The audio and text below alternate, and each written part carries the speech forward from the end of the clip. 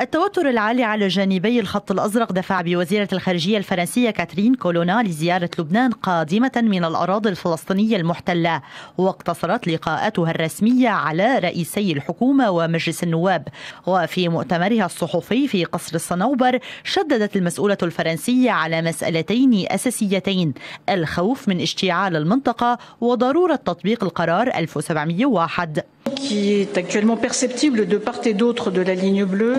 مستوى التوتر حاليا على جانبي الخط الأزرق خطير جدا وقيادة أو قائد اليونيفيل الذي التقيت به بعد ظهر اليوم أكد لي ذلك.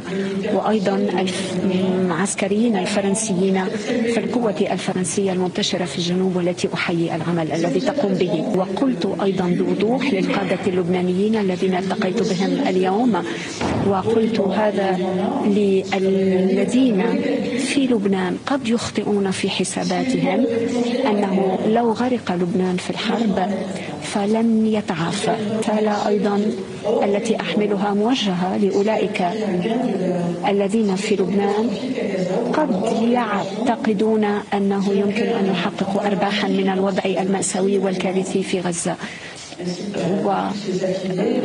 وإيران وكل تابعين لها هنا وفي البحر الأحمر.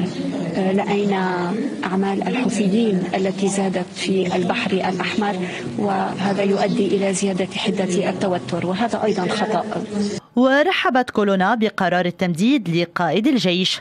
طبعا إن تمديد ولاية قائد الجيش خبر جيد ونحن نحيي هذا القرار والوقت كان حقا كان الوقت المناسب لهذا التمديد ولكن هذا لا يكفي. وفي هذه المرحلة المتوترة يجب الاستمرار بالتحلي بروح المسؤولية. لم أتكلم مع حزب الله ولكني تكلمت مع السلطات اللبنانية في هذه الزيارة. ووجهنا نداء للجميع لتطبيق القرار 1701 ونحن بعدين عن ذلك. ونحن ننتظر تطبيق مشروع تطبيق القرار هذا. مرة أخرى نحن هنا لنساهم تفادي اشتعال الوضع الإقليمي ونحن نعمل لهذا الغرض منذ عدة أسابيع. وردا على سؤال الجديد حول استعداد إسرائيل لتطبيق القرار 1701 والانسحاب من الأراضي اللبنانية المحتلة. قالت إن القرار كان مقبولا في السابق من الطرفين.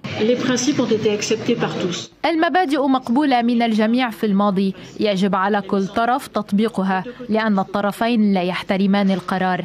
ما نفعله اليوم هو إقناع كل طرف القيام بالضرورية وزيرة الخارجية الفرنسية التي أنهت مؤتمرها الصحفي بدردشة مصورة مع الإعلاميين ردت على سؤال حول دعم فرنسا لسليمان فرنجي ممازحة بأنها لا تعرف هذا الاسم بإشارة قد تكون ضمنية إلى سياسة حياد فرنسا وعدم التدخل في الأسماء الرئاسية.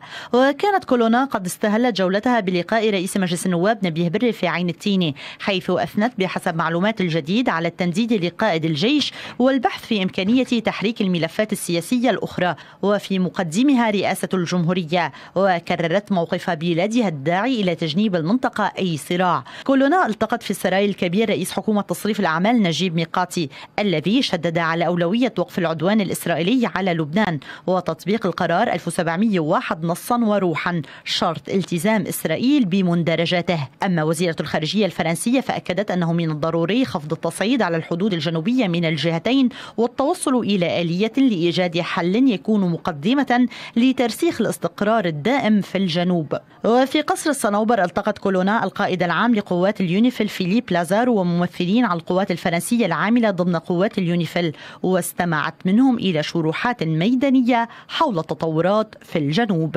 ريم حمدان قناة الجديد.